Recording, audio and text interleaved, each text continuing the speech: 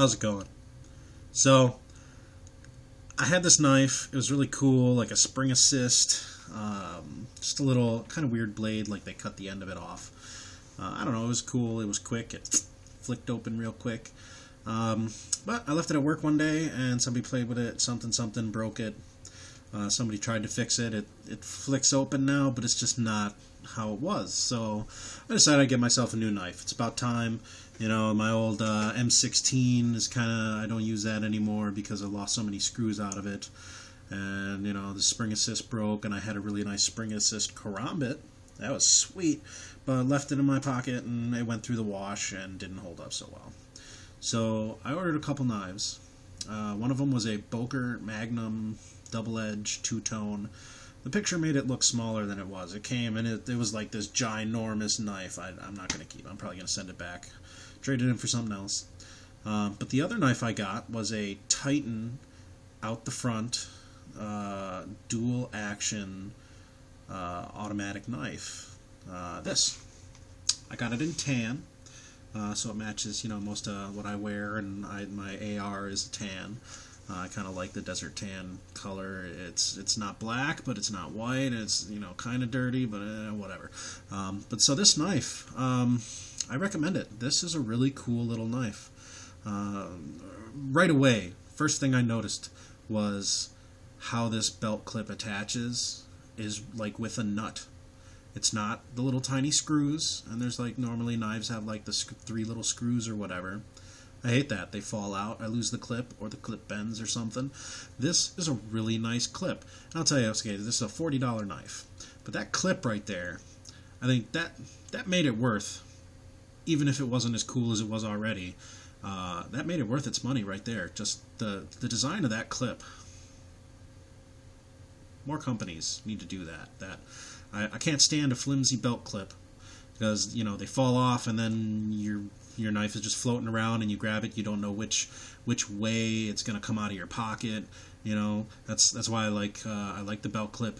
I like this design. It looks uh, I can't imagine um, getting that loose not on purpose. So after loctiting everything on here this knife's going to be great. Um, this here the grip. Um, I was a skater as a kid a skateboarder so I can tell you that's that's skateboard grip tape right there um, it's a little bit rough. Um, you could probably, you know, file file your nails on it or whatever, but um, it's really good grip uh, because uh, this knife seems to have a kind of a hard push on it.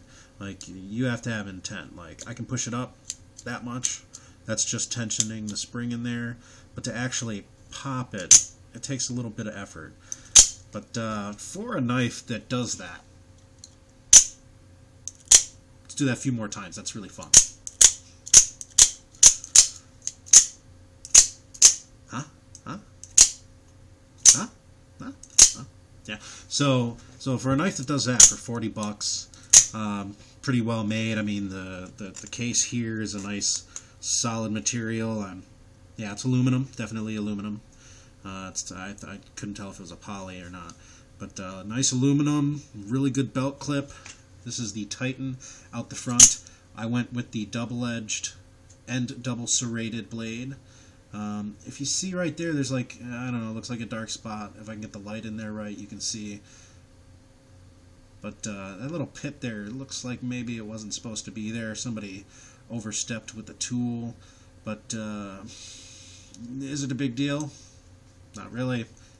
Because out the front, springs pretty well.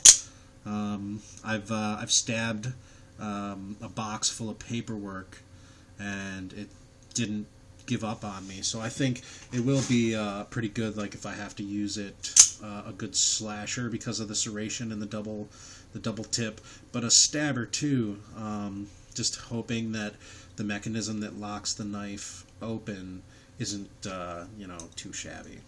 But, uh, you know, you never know unless you have to stab, you know, a wall or something and you'll find out. Uh, but uh, all in all, for, you know, $40 out the front dual action knife, uh, I can't complain. Um, you know, that uh, Boker Magnum, though, uh, I can't recommend that. It's really big, really bulky, didn't uh, really represent itself well in pictures. And the one I got actually didn't spring open all the way. You, you know, you when you flick a spring assist, you expect it to be like open, right? So it open. Well, this one's kind of you flick it and it goes. And it's just kind of you know, not quite, not quite. Like I can flick it while flicking the, the the side of it and get it to lock open, but I shouldn't have to do that. So instead, send it back, maybe get some little push daggers, and rock this super cool uh, out the front knife that, um, God, it's got to be the coolest knife design ever. I mean, that's better than a butterfly knife. I love it.